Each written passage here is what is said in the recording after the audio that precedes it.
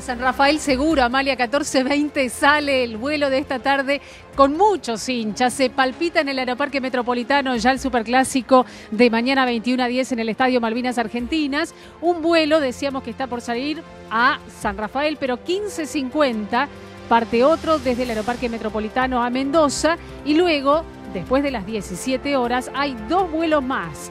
Uno es a las 17.45 y el otro hasta las 17.35.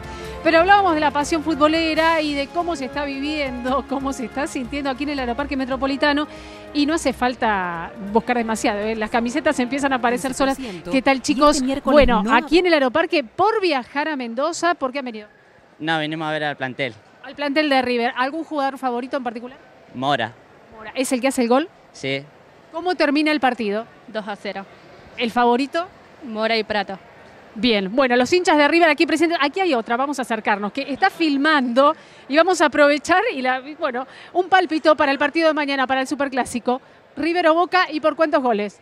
1 a 0. 1 a 0. Y por allá hay otro que muestra la remera. A ver, vamos a invitarlo. Doble remera.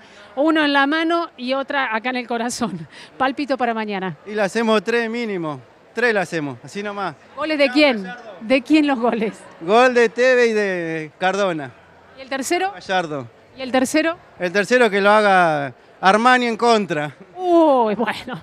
Bueno, como les decía, ese palpita, se está palpitando la pasión aquí en el Aeroparque. Los planteles, después de las 2 de la tarde, en un ratito nada más, van a estar llegando primero el de Boca, vuelos charteados, después de las 5 de la tarde el de River. Y atención, se anunció que ambos planteles van a compartir esta noche una cena de confraternidad invitados por una eh, bodega mendocina.